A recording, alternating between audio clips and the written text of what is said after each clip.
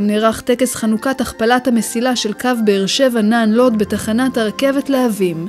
במסגרת הפרויקט אשר נמשך כשמונה שנים, בהיקף של שני מיליארד וחצי שקלים, הונחו 90 קילומטרים של מסילות, הוקמו גשרים, מעברי מים והפרדות תלת-מפלסיות, תוקנו רדיוסי המסילות, תיקון אשר מאפשר לרכבת לנוע במהירות של 160 קמ"ש, הגדלת נפח הנסיעות וקיצור משך הנסיעה מתל אביב לבאר שבע ל-55 דקות.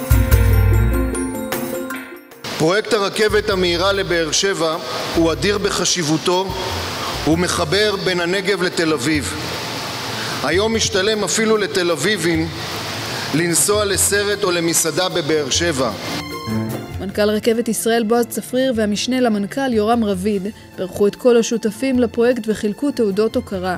המנכ"ל ברך את יושב ראש האדריכלים בנגב אלי ארמון על היותו שותף ראשי בפרויקט, בהיותו האדריכל אשר תכנן את תחנת הרכבת באר שבע מרכז ואת תחנת הרכבת בלהבים הנמצאים במסלול זה.